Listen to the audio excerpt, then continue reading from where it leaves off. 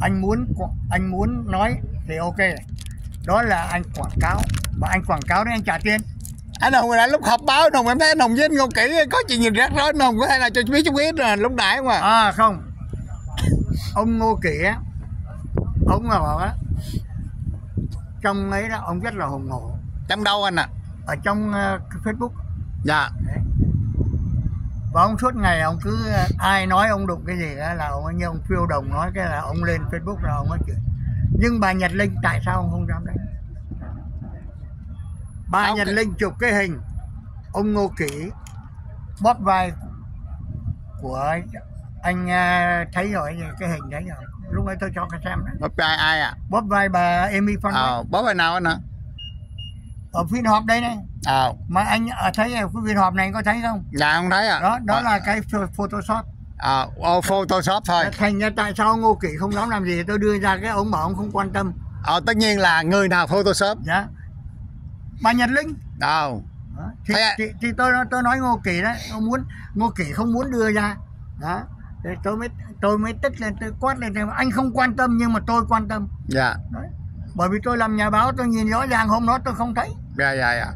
Mà tại sao nó nói đụng tới anh mà anh im lặng? Ờ tất nhiên là chị nhìn lên chị chị nhìn tức là ông phải sợ sợ con Nhật Linh rồi. Anh nói là anh không sợ ai hết này kia đấy anh nói là anh là trên răng dưới dép này kia tức là anh vô gia cư vô nghề nghiệp anh sống bằng trợ cấp xã hội. Thành không sợ ai hết mà tại sao anh sợ nhật linh? Mà anh thấy đài bời ông quá trời thấy nhiều bao nhiêu người hâm mộ của anh ngô kỹ mà anh nghĩ gì sao vậy ông tôi nói thật á ai ngô ai hâm mộ ngô kỹ em thấy đài tivi đồ quá trời đài mới trời truyền thông youtuber mời ảnh nói chuyện mà. Anh đếm đi để coi đài nào không? Đài dạ. nào đi? Trừ phố con sa tv có bao giờ lên đài tôi không? Rất là còn mấy cái đài kia đấy. Còn chậm lâu lâu mới lên một lần. Dạ em thấy cũng giống như người ta ỉa bón hả? Dạ. Tại sao kẹt đề tài phải kéo nó ngô kỳ lên câu view. Tôi nói như vậy nhưng mà anh ngô kỳ làm điều nhiều điều tốt mà anh đâu có xấu đâu. Tại vì anh không biết ngô kỷ dạ anh biết anh sẽ nói chia sẻ cho em biết ạ. À. không? Cái chuyện xong rồi thì thôi. Dạ. Làm sao đó thì chia sẻ tại vì em không biết cái chuyện xong rồi thì thôi. Dạ. Tôi đã từng đưa ngô kỷ ra tòa. Lý do tôi bái nãy. Lý do anh. Là tôi nó mất dạy.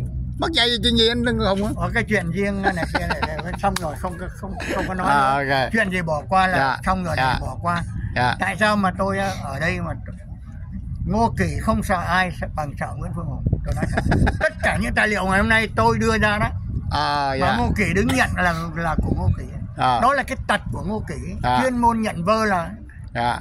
tôi đưa ra tại sao không nói thẳng ra là ông Nguyễn Phương Hùng gửi cho tôi này cái này chờ tôi phải nói em đâu bao giờ ông thấy nghe anh nói là anh đưa anh đưa mấy cái đó ra nè. Mới lúc nãy nè à, dạ. cái, cái lúc cái Amy Van West nói giới thiệu nha. Thì Ngô Kỳ nói là tôi là kia này cái đã chim ờ, tất cả hồ sơ này kia nọ là anh đưa ra hết. Quay lại đi. À, tất cả hồ sơ giấy tờ này tất kia nọ. tất cả là của tôi. À, thì cái đó em mới biết là bữa nay đó. Xưa giờ em không biết điều này. Đấy. dạ. Ngô Kỳ là thằng chuyên môn đi nhận vơ. Nhận những cái là cái công này kia. Một người mà đi bên này xong đi bên kia. Tất nhiên đi hai hàng anh là hồi xưa đi theo Trần Thế Văn dạ. đi theo Andrew Đỗ. Dạ. rồi bị đuổi đi theo Giang An Nguyễn. Thế rồi cái bỏ xong rồi quay lại chửi người ta. Đó là những người không có tốt. Dạ. nhưng mà tại vì cái chuyện chung dạ. tôi không muốn nói thôi. Dạ. Ê, cái váy tài tốt lắm nha. Váy tài Phật á. Trời ơi. Sống lâu đó. Trời ơi. Đây anh ông, anh ông ơi cái lại cuối đây không?